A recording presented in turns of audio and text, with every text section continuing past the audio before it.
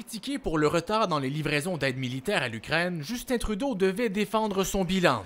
Tous les pays font face à ce même défi qu'on a besoin d'augmenter la production et de trouver euh, plus de, de munitions pour l'Ukraine. Car le Canada a fait des promesses aux Ukrainiens, comme ce système de défense anti-aérien qui n'est toujours pas livré un an plus tard. La plupart de ce qu'on a promis euh, on ne peut pas le produire nous-mêmes. Évidemment, c'est produit aux États-Unis parce qu'on n'a pas les industries. Et puis, il y a eu des retards. Il semble y avoir un manque de volonté politique. Justin Trudeau a aussi été confronté à ses investissements en défense. Le Canada est loin de la cible de 2% du PIB fixé par l'OTAN, tandis que des pays comme la Pologne s'approchent du 4 et que Donald Trump menace de ne plus défendre les alliés qui n'investissent pas assez. Nous savons qu'il y a plus à faire et on est en train de le faire.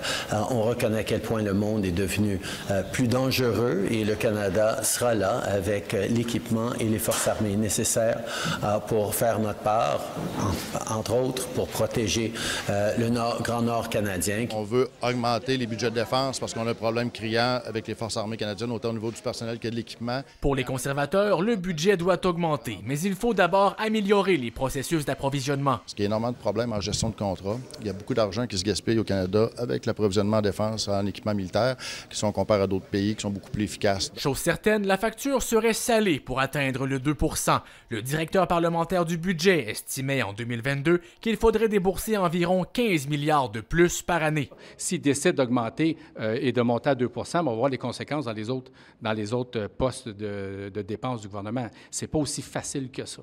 Le gouvernement devra faire des choix dont nous aurons possiblement un aperçu dans le budget au printemps. Olivier Ferron-Boissé, TVA Nouvelle, Ottawa.